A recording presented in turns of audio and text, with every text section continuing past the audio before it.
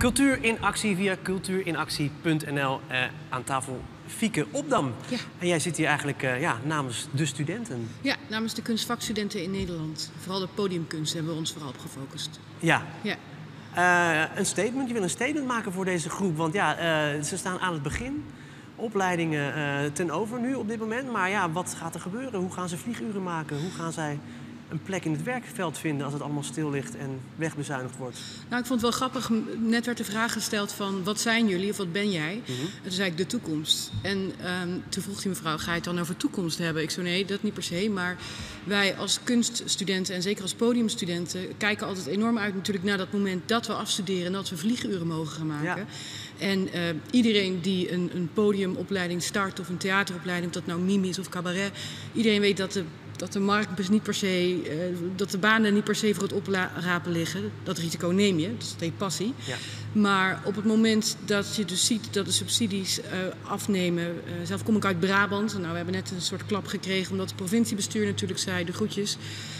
Dan besef je ook als student, nou ja, de mogelijkheden voor mij om straks kleine podia te uit te proberen en mijn publiek te gaan zoeken, die, die vallen, vervallen gewoon. Als het voor grote artiesten al moeilijk is, wat gaan wij dan nog doen? En eh, nou, daar willen we tegen opstand komen. En eh, we zijn samengekomen in het begin met enkel Brabantse opleidingen, later ook eh, met andere opleidingen in Nederland.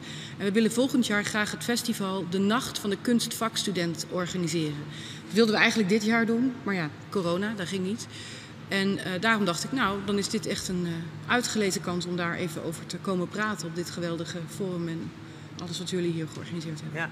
Eh, eh, eventjes, eh, hoe, hoe is het, eventjes, eventjes voor mij, eerst, want jij bent docent, maar je bent zelf ook cabaretier. Nee, nee, nee, joh, ik studeer dit jaar af als je studeert- cabaretier. Ja. Oh, je studeert af als cabaretier. Ja, tenminste, dat is de poging. Ja. Ja. ik studeer dit jaar af in, eigenlijk in juni, maar door corona in augustus. Mhm. En het is dan de bedoeling dat we allemaal met een avondvullende voorstelling afstuderen. Dus, dat gaat wel door? Zonder publiek? Met 30 Nee, nee, nee, nee, nee. Mijn directrice, die heeft zich, of onze directrice, heeft zich enorm ingezet om ons in de grote zaal te plaatsen. Zodat we wel publiek hebben, maar mensen die uit elkaar zitten. Dat heb ik nog nooit eerder gedaan, dus ik weet helemaal niet Ik of dat, niet. dat het... Ik- niemand niet in de hele wereld Nee, dat, dat hetzelfde gaat voelen. Dus Ja, in met het begin misschien, toen het nog half vol, vol zat, eh, dan, moest je wel. Maar het is inderdaad niet het meest comfortabele Nou, ik heb, spelen. we hebben natuurlijk ook wel voor kleine zaaltjes gespeeld. Ja. Maar ik vraag me gewoon af hoe dat is als er enorme afstand... Maar goed, dat is En weer een met ander... maskertjes en zo. Ja, ja, of dat dan hetzelfde gaat zijn. Dus met publiek, maar ook weer niet. Ik weet niet precies hoe dat gaat voelen. Maar het is wel de bedoeling dat dat doorgaat. Mhm. Ja, ja. En hoe is de sfeer onder de andere studenten? Hoe, hoe kijken jullie er tegenaan? Het is heel, heel verschillend. Sommige studenten, die, eh, het is ook eh, allemaal verschillende karakters. Sommige zijn wat dramatischer dan andere. Dus het is ook een beetje... ehm, maar op dit moment denk ik dat het ons allemaal kracht heeft geboden... dat we onze artistieke krachten gebundeld hebben. Dus dat we een beetje uit de kniezende periode geklommen zijn... en gewoon eh, met elkaar hebben gedacht... wat kunnen wij maken? Wat hebben we te vertellen? En waar ligt onze kracht? En ik vind dat ook wel... Ik vind het geen fijne tijd. Ik had liever andere plannen eh, doorgevoerd. Maar eh, als kunststudent, en dan heb ik het niet zozeer over de bezuiniging, maar wel over de coronatijd, voel ik nog meer van ik wil dit doen. En dat merk ik ook om me heen. Dat mensen denken van ja, dit is bizar. Dit, dat wij nu afstuderen. Afstuderen als theatermaker is al spannend. Ja. Maar nu afstuderen is gewoon eigenlijk eh, idioot. Ja. Ehm, maar we hebben er wel zin in. En ik voel een hele, hele sterke, verbonden, krachtige energie.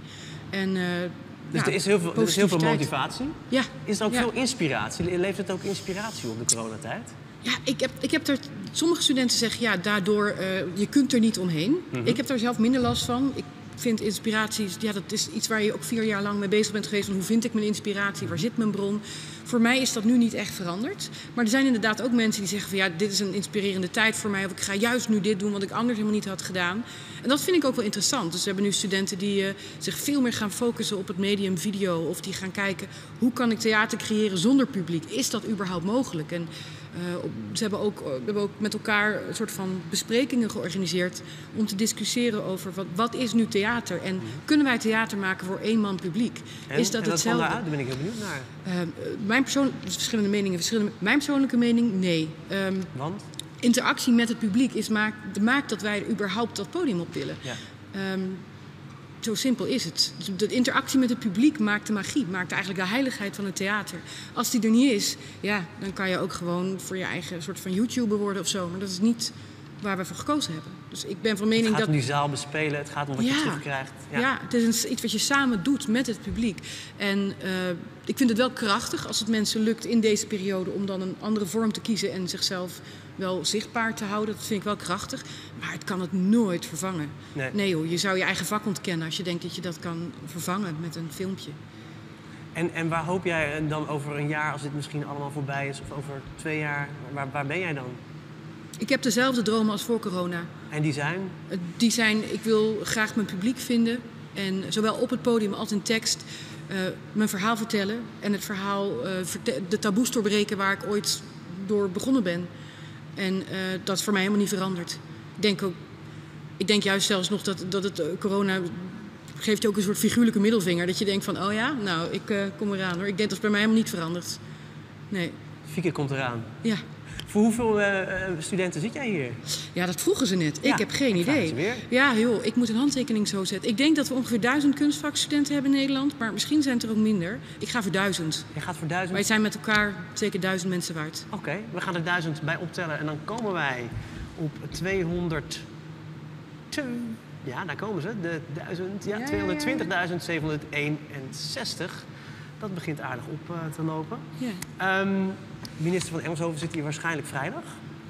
Zou je nog iets tegen haar willen zeggen? Nou, ik zou wel graag willen komen. Kan dat niet? Van mij mag je komen, natuurlijk. Kan ik er is een plek zat. eh, als je maar anderhalve meter bij eh, de, de, de, de geluidsmensen ik vind dat daar ook een student bij aanwezig moet zijn. Ik als vind dat je, minister de, als, jij, als jij nu zegt, ik wil daarbij zijn, Ik wil dan, erbij dan zijn. ben je bij deze Ik ben erbij. Ik ben erbij.